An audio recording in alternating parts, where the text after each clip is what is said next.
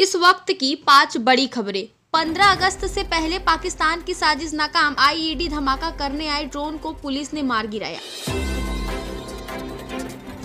दो दिन की बढ़ोतरी के बाद आज कम हुए केस। पिछले 24 घंटे में मिले 35,342 नए केस। मलेशिया में हालत बिगड़े। ज़मीन पर इलाज। सांसों के लिए तड़प रहे मरीज़। तीन दिवसीय दौरे पर आज गोरखपुर आएँगे सीएम योगी आदित्यनाथ। मध्य प्रदेश में आए दो बस यात्रियों समेत सात नए कोरोना पॉजिटिव।